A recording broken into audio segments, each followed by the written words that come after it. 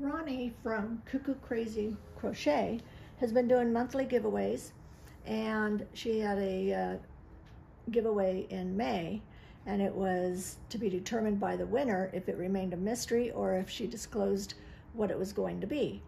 What we didn't know was she was also going to surprise a second place winner, and that happened to be me. So the first place winner had opted to keep it a mystery, which was perfectly fine for me. So here's the box that I received, and I've only opened it up so the addresses are hidden, and this is what it. Oh, how cute! Oh, these are so many. Look at this. I've never seen these. I mean, I've seen them, but I've never touched them or anything. Aren't these cute? Little heart designs, the mandala craft cakes from Lion Brand. They are, I believe, cotton. No, they're 100% acrylic.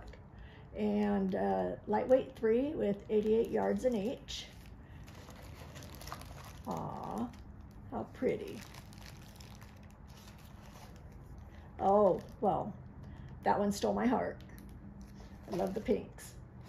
And then she also included with these four minis the stitch markers and the